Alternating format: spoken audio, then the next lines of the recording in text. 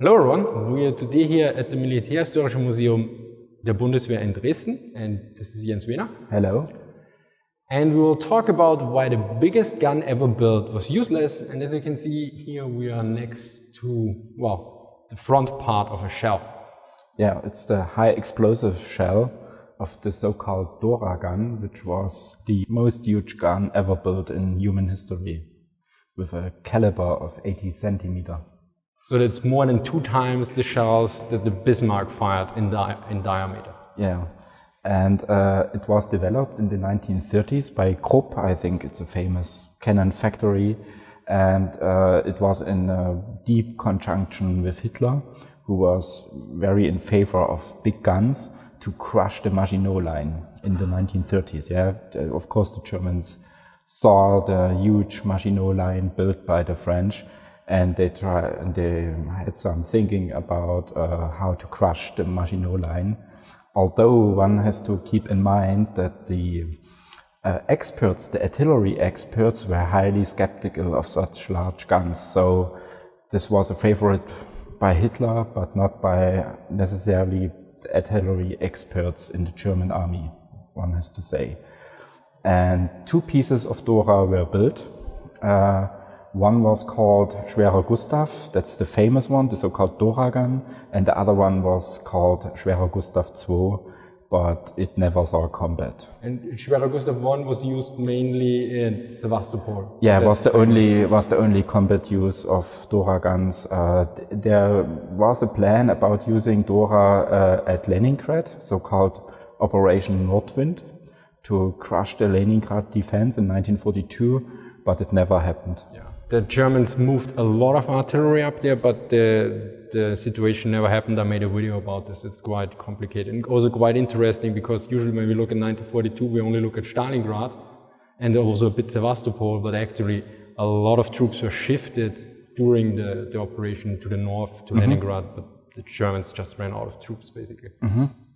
And uh, the Dora saw, as said, one combat use was at Sevastopol, and there she fired roughly 50 rounds, and she never hit really a target because, and this was also the critic by the by the artillery experts that guns like these were not precise enough to hit uh, targets with importance, like bunkers or artillery uh, uh, basements also. Um, so you, you mentioned, I think, um, how was the the Streuung, the deviation, mm -hmm. more like, or the dispersion? dispersion? Yeah, uh, roughly 10 rounds were below 60 meters, but some rounds were above 700 meters. And so it, uh, it seems it was more imprecise than the Sturmtiger. Yeah, obviously. Okay, and the Sturmtiger was already considered very imprecise according to German documents, as I pointed out in one of my documents and videos. And it has a and it had of course a very low fire rate. Uh, I think the fastest fire rate was 45 minutes, so a shot every 45 minutes. But in general, it was more, uh, some hours between every shot. Shot, and um, uh, you couldn't hit a target like a bunker, like in the Maginot Line, or how it was common in Sevastopol in 1942, which has only an area of several square meters. Those targets were too small for Dora. And so the 11th Army, who was commanded by Manstein at this time, decided to use Dora at big area targets, like the so-called Weiße Klippen, White Cliffs, under the so-called White Cliffs, there was an ammunition bunker of the Soviet army. And indeed, one um, armor-piercing grenade of Dora hit uh, the White Cliffs and uh, had a ray from 30 meters through, through the whole earth and then ammunition bunker exploded. But then Hitler was not so happy with this and he said, um, oh no, please use the Dora against more valuable targets like Maxim Gorky, fire battery. I don't know if you know, those were turrets. Yeah, that's big Yeah, ones. and and but Dora couldn't hit targets like this, so this was the problem. And the officers in Sevastopol they saw the problems of the Dora, but Hitler wanted to have the Dora against valuable So, so Manstein targets. basically ordered against large targets, so Mm-hmm. that they, they had a chance to hit, and Hitler wanted like like precision targets, Mm-hmm. which you, you can't hit anything except by, Yeah. by chance.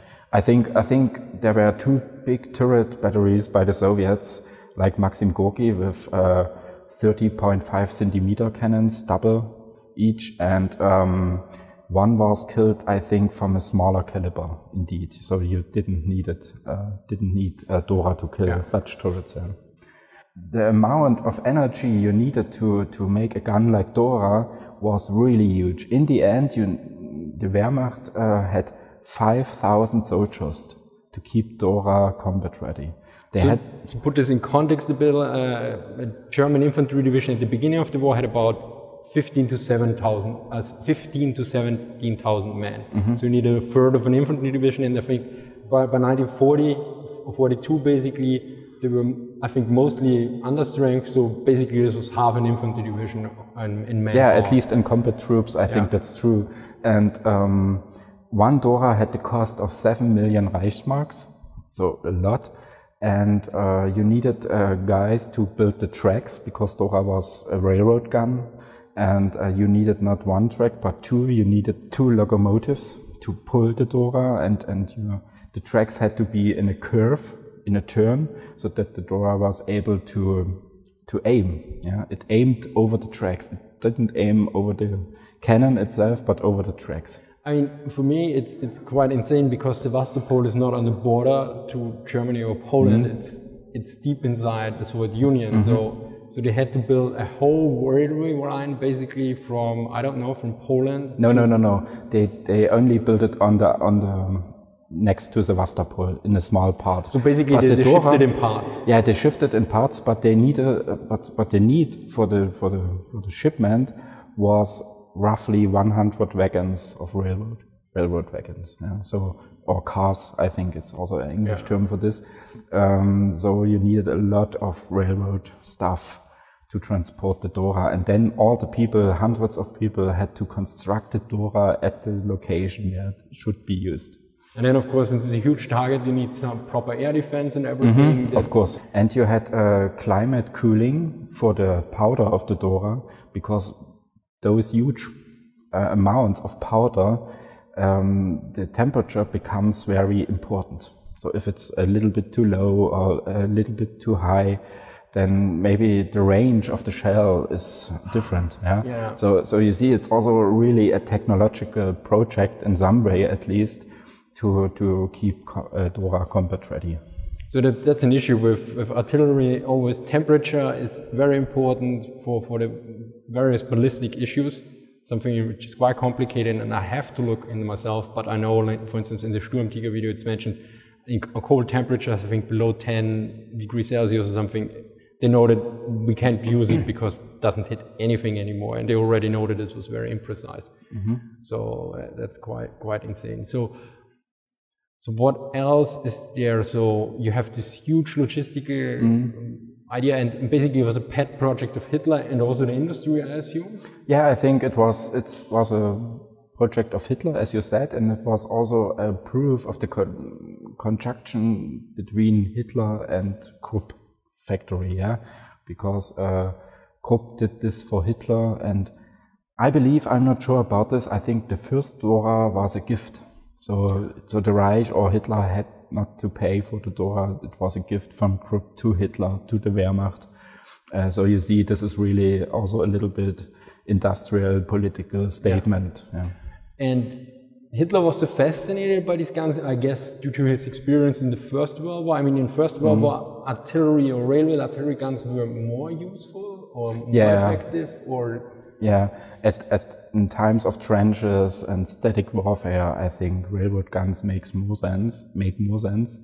Um, uh, and Hitler in general, I think, was fascinated by bigger caliber, by bigger guns. You can see it also in other discussions and debates around Hitler when it comes to tank cannons or when it comes to uh, Luftwaffe cannons. Yeah, where, where he was always the guy who said, I want a bigger cannon. It has it has to be larger and so on. So I think this is a general thing with Hitler about bigger caliber and huger, More firepower, yeah, more yeah. firepower. Yeah, and I think Dora is a little bit a proof of this. But I think Roman Toppel could say more about this, how Hitler thought about technical stuff and so on. But but from my perspective of view, when I look at Hitler's technology policy, I would say this. This is also confirmed because hmm? I talk with Roman hmm? Toppel and hmm? sometimes he points out that a lot of stuff that is written in the memoirs is not based on that what you can find in the archives nowadays because the journals tended to blame Hitler here more. Is could this also be the case here that the that some channels blamed Hitler in this case, or are we very certain that Hitler here was the main driver behind this? Mm, I'm more specialized in Air Force documents, and there I would say it's true that Hitler wanted the bigger calibers. Okay. So I would say, So, so the message with 262 with the 50 millimeter. yeah, and, and especially the, the Zerstörer concept with bigger cannons and so on, you know, the destroyers of the Luftwaffe, the twin engine fighters and so on. There I would say it's a proof, and it's the same thinking behind this, like uh, with Dora. We Okay. have the case. and- More firepower. So, and why was it only used at Sevastopol? I mean, the, the war went on way more. And also, what happened to the gun after the war? Yeah, both guns were destroyed. I think the original gun were, was um, uh, destroyed by explosion at I mean, the end by of the the Wehrmacht war. or by by- the Wehrmacht, as far as we know. And the same was, happened to Schwerer Gustav II. And we have a piece of Schwerer Gustav II here. You can't see it now. Maybe you will show it to your visitors when you're filming around. Uh, this was uh, exploded ne- next Chemnitz. Uh, it was located next Chemnitz, mostly in trains. Also, I think it was in one piece. I don't think it was in one piece, it but I'm not sure about this. Was probably shipped back and then never rebuilt, or Yeah, it, uh, it, as I said, there was a plan to use it in Leningrad at at the siege of Leningrad, but I think afterwards the Germans had no more fortresses to conquer. Yeah, because they had to retreat, they had a movement war and so on, and I think Sevastopol was one of the rare occasions in World War II where the Germans had to conquer uh, an enemy fortress, and Sevastopol really was a fortress. I think I read a figure like 3,600 bunkers were in Sevastopol. So this was really a sea fortress to conquer. And, and uh, I think most of your, your visitors know that this was really a bloody long battle. Yeah. What, what comes to mind for me is um, when I talked with Drachinifel, he's, he's the naval guy, there was the, the British and the Germans had artillery duels across the channel to a certain degree. Why wasn't it used there?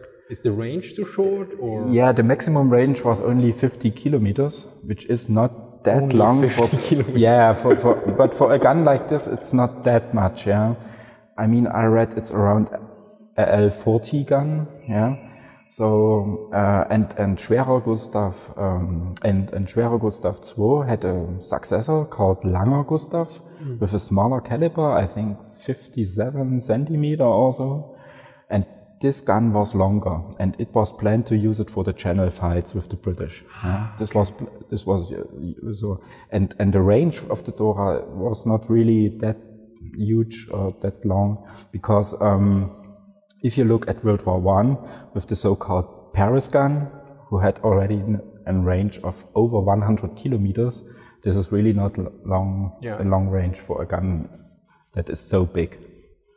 So it was basically huge caliber but rather short range. Mm-hmm. So you could basically use it yeah, against fortresses, mm-hmm. yeah.